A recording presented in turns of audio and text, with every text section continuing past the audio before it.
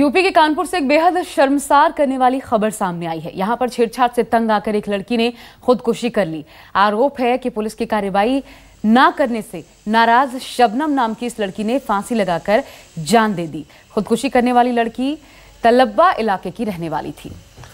आरोप है कि इस इलाके में रहने वाले कुछ दबंग शबनम से छेड़खानी करते थे, जिसकी शिकायत उसने पुलिस से भी की थी। लेकिन इसके बावजूद पुलिस ने कोई कार्रवाई नहीं की। जिस वजह से उसने फांसी लगाकर जान दे दी। लोगों को भी, लोगों का भी आरोप है कि अगर पुलिस ने वक्त पर मामले का संज्ञान लिया होता तो उसे खुदकुशी के लिए मजबूर नहीं होना पड़ता।